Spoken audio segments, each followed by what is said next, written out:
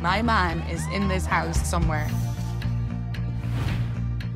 For the first time ever, 22 singles are flying from all corners of the globe. I'm from the Netherlands. New Zealand. Sunny San Diego. For a chance to find the one. Are you ready for an epic adventure? It's getting hot in here, I think. Welcome to the new season of Are You the One, exclusively on Paramount Plus. I know in the past you all thought that you had found the one, but you ended up with your hearts broken. All the people that I've dated had control over me because I've let them. And now they're here to let go of their past and figure out where in the world is their perfect match.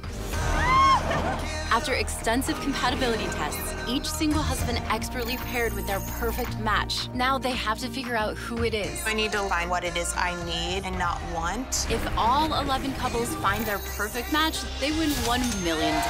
My man is in this house somewhere. The stakes have never been higher. We need to start taking this a bit more seriously. Will they be able to find the one? We can't afford to mess this up. You are deserving of every inch of love. I'm taking this leap of faith. My perfect match is here.